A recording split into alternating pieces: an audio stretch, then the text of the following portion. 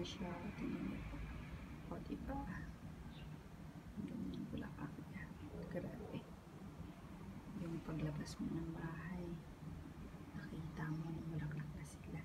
Diba? Sulit yung pinagpaguran mo. Yan. Ganda nila. Pagpila. Yan po. Gusto ko lang po yung duplex. Dito sa akin.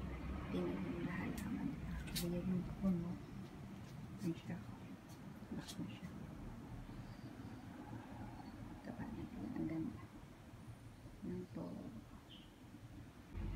Yan. Check natin sila. Yung mga nireplant ko from doon sa ay galing sa top yung mga namulaklak na ito na sila ayan buhay na din sila tinaniman ko tong pat na to kasi ayun siya yan o nasa ilalim siya ng puno since sayang lupa so tinaniman ko tsaka maganda kasi ang bulaklak nito. So pag lumago sila mga bulaklak na din yan. Yung mga yan galing po yan dun sa kaninang binidyo ko na namumulaklak na ito yun. Ang dami kasi ng supling niya kaya nireplant ko dito. Yeah. yan. Lubang forward sa kanila pagka namulaklak na sila. Yan o na sila. Yan po ayan. Ito galing din to doon sa taas. Dun sa nireplant ko. O yung may bulaklak na rin siya. Kakatawa. Din yung iba is medyo tumba pa kasi nga dahil umulan na. Ulanan at katatanim ko lang. Ayan. Pero tong isang galing na magpapag na siya kaagad. Sana all na mumulakot na siya. Ayan o. Ayan, tinaniman ko din siya. Sa ilalim din siya ng puno.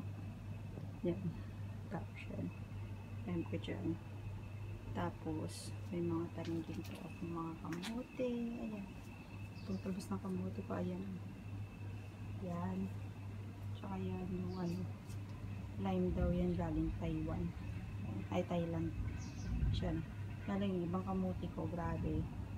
Nakain ng ibon. Inuunahan ako kumain ng ano, mag-harvest ng ibon. Ayun. Lahat ng ano. Yan. Tapos may tanim ako sa tingong yun. Tapos may tanim ako, ano, ayan yung luya. Ewan ko lang kung magkakaroon niya ng laman. Pero actually may ano siya, yung supling lang siya. Tapos tinamin ko dyan. Yan o, tulad nito. Yan, luya po yan. Ang ganda. Sana magkalaman sila ng madami. Yan. Grabe ang daming ibon dito. Nangangain ng ano. No, yung mga talbos ng kambuti. Grabe tinutukan nila o. Yan, dahon. Grabe. Tapos yung iba. Sa ano, nain nila. Yan, tumaba na rin siya o. Dati mamamatay na siya eh. Nilagyan ko lang ng abono, tumaba na siya. Ang galing.